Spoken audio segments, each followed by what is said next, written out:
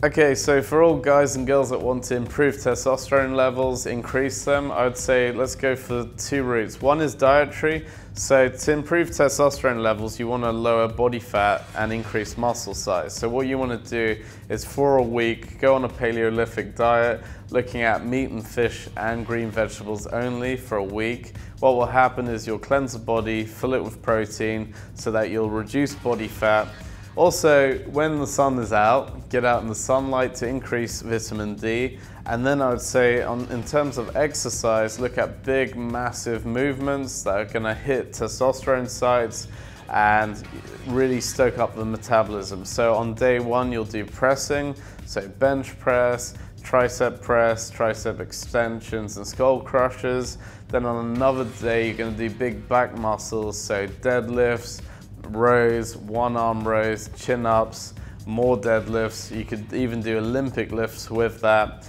And then on another day, you're gonna do big squats, squat movements like the back squat, lunges, sprints, those sort of things. And I'd say that's a great way of really getting the testosterone levels up and reducing body fat. So if you want to check out some personal training sessions, check out the website at awpts.com, fill out the application form and see you soon.